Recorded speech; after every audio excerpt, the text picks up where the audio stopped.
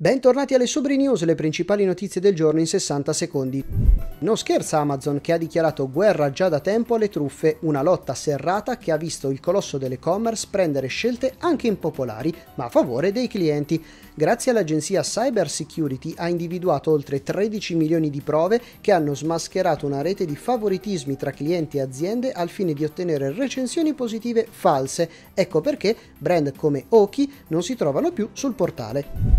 Il ministro Colau, responsabile della transizione digitale, dichiara in un'intervista aiutiamo le imprese a fare e-commerce. Il ministro ha sottolineato che c'è chi ha cominciato a vendere per email, chi ha costruito un sito e chi è entrato in una piattaforma e-commerce per arginare la crisi. Ma tutto ciò non basta e bisogna fare molti altri passi avanti per rendere strutturale la trasformazione ed aiutare tutte le aziende. Sicuramente questa è una buona notizia per tutte quelle aziende che vogliono fare e-commerce ma non hanno ancora avuto la possibilità di mettersi in gioco.